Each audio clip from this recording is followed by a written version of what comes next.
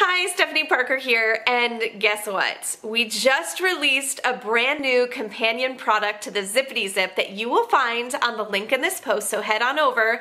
But I am going to introduce it to you with my fake baby. Let's call her Ella. And my daughter put lipstick on her.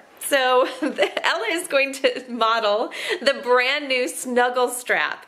And as you can see, the snuggle strap goes right over the waist of a baby. It still gives a baby the, um, the movement in their arms that they need to push up and roll over.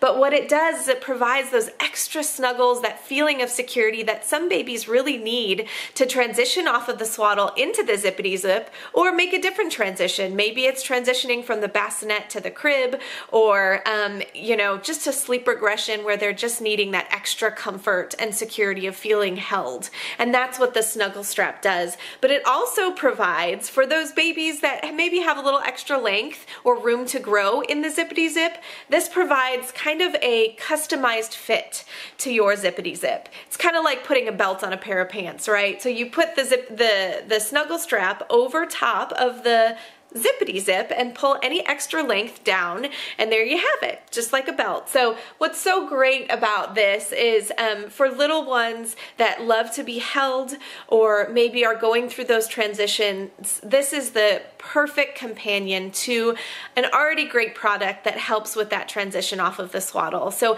head on over to the link in this post. You'll find um, Zipadee-Zips being sold alongside these so you can buy a bundle or you can buy it separately if you already have a Zipadee-Zip. So that's what's really fun about these. And what's great is they're only like four bucks. So um, head on over to sleepingbaby.com and check out the new snuggle strap. I hope you have a great day. Thank you so much for watching. Take care.